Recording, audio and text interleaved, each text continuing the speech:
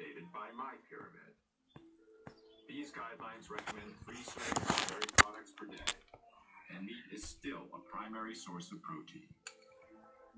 In following My Pyramid, a 15 year old girl can eat a daily menu consisting of a bowl of Lucky Charms with low fat Oh, milk and a glass of orange juice from concentrate for breakfast, cheese flavored crackers for a morning snack, a cheeseburger on a whole grain bun with Oh french God, fries and a no coke for lunch, way. Chocolate pudding and grapes for an afternoon snack, and chicken nuggets with a biscuit and canned green beans for dinner, with low fat ice cream for dessert. I see now what's happening with the way that we feed many of our That's children why, in because, our school uh, systems.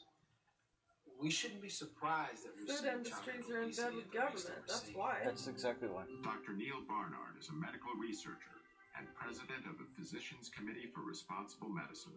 Well, the problem is when, when a kid is Guys. pulling his tray down the school lunch line, you see federal policies in action.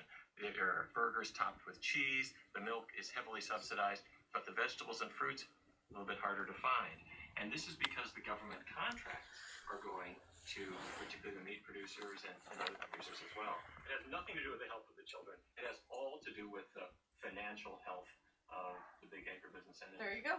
So parents, what we have with the USDA is Financial really a health. farmers advocacy organization, and okay, let's have one.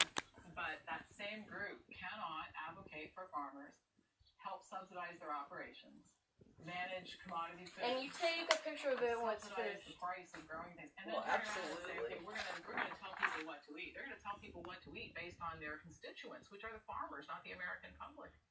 In 1998, Barnard's group sued the USDA.